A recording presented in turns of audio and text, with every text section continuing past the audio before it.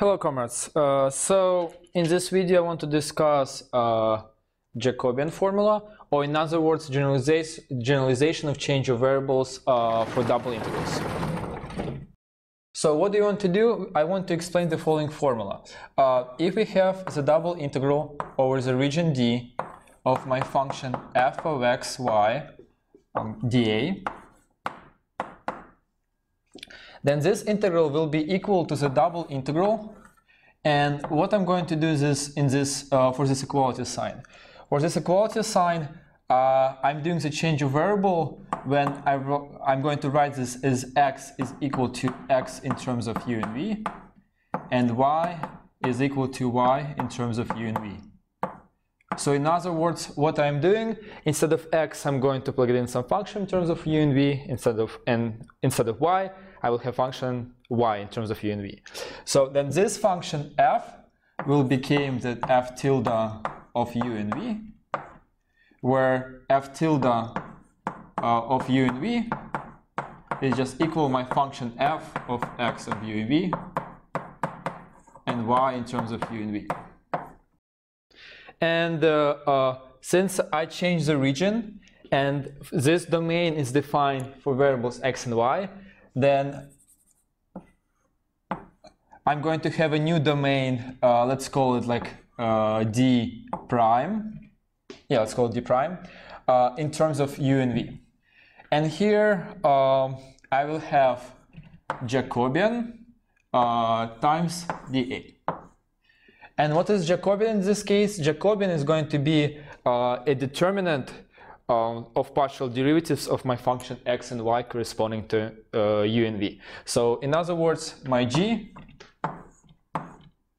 is equal to x of partial u, x partial v, y partial u, and y partial v. Or in other words, it equals to x of u, y of v, minus x of v, y of u. So let me highlight my region D. Just I want you to see this region E. And let me highlight uh, my function f of x and f of u and v. And here I have Jacobian. So what is my goal? Uh, my first goal for this video is explain this formula based on a simple example. And then um, uh, my second example is going to be more complicated examples where we're going to do an actual problem. So let's do the simple example. And simple example in this case, um, we're going to use double integral to find the area of a square. So uh, let's take a square, or like in other words, a region D, which is given by um, a square with size, uh, with a length, with a side of length 2. So I have 2, 2. And this is going to be my region D. And then if I want to find uh, the area of this region E, D, I'm going to use a double integral over D of my function 1 dA. And based on this example, we can easily see there is going to be 4. But let's actually solve this problem by applying our change of uh, variables formula. And what I'm going to do, I'm going to do something weird. Uh, instead of when we're giving our transformation of our variables, I'm going to make one. And how I'm going to make one? I will make the region D prime, which is going to be a square uh, of um, where the length, the, when the size of the length is going to be equal to 1. So my D prime is going to be just square of length 1. And how I get the square from original one? I just decrease the square by 2. But remember, this square d prime is going to be in terms of u and v. So instead of x-axis, I will have u, and instead of v-axis, I'm going to have v. So as soon as I have my region d prime, uh, then I have the following question. I want to find my change of uh, change of uh, variables formula. So I want to find x of u and v, and I want to find y in terms of u and v. And how I'm going to do this, I'm going to analyze uh, what formulas for uh, x in terms of u and y in terms of u and v, and sorry, and x in terms of u and v I can use to transform this region into this one.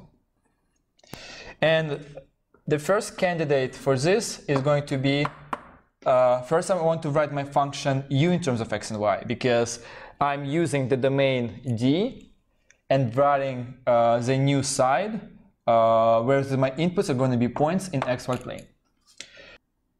And we can see that this side is described by uh, following set of points, which are uh, y is equal to 2, and x is changes from 0 to 2.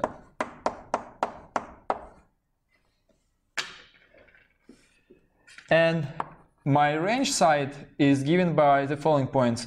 My y uh, is equal to 1, and my u is changes uh, from 0 to 1. So here I can see that then my, uh, if I want to describe uh, this side of my square, then my u is going to be equal 1 over 2x.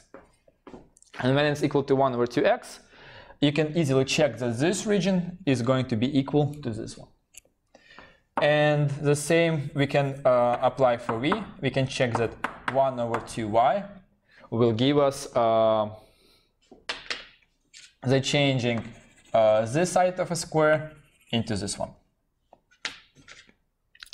So finally, uh, what is my change uh, of variables in terms of uh, u and v is going to be x is equal to 2u and y is equal to 2v.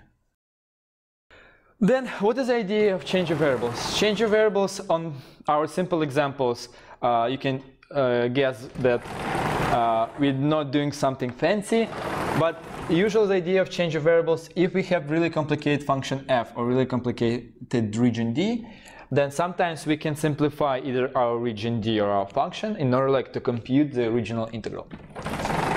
So here, according to our formula, uh, let's first set up my second integral in terms of new variables. And my second integral in terms of new variables is going to be double integral over d prime. My function is constant, so it doesn't change. Uh, here we're going to put my Jacobian and dA.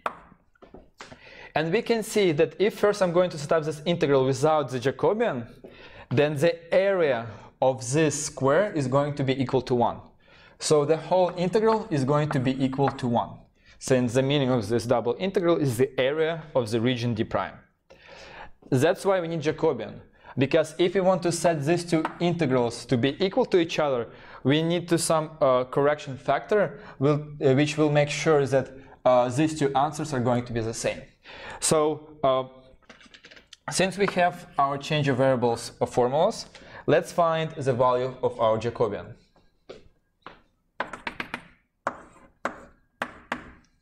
So according to the formula, Jacobian is going to be just uh, the determinant of the partial uh, derivatives. So in this case, I'm going to have x partial u is 2, x partial v is 0. So it's just 2 and 0. Uh, y partial u is 0, y partial v is 2. So I will have 0, 2. So my Jacobian is equal to 4. So since my Jacobian is equal to 4, if I'm going to put this factor 4 into my double integral, then we can easily see that the answers for both integrals are going to be the same.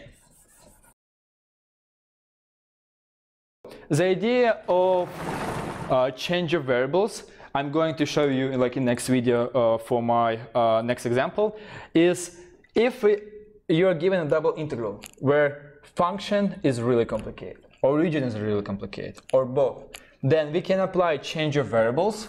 We can either guess the change of variables or we are given the change of variables, and then we will be able to compute our old integrals in terms of new variables. Okay guys, thank you for watching. I hope you enjoyed this video. So in next video, I'm going to do a little bit more complicated example uh, for change of base formula. Thank you for watching.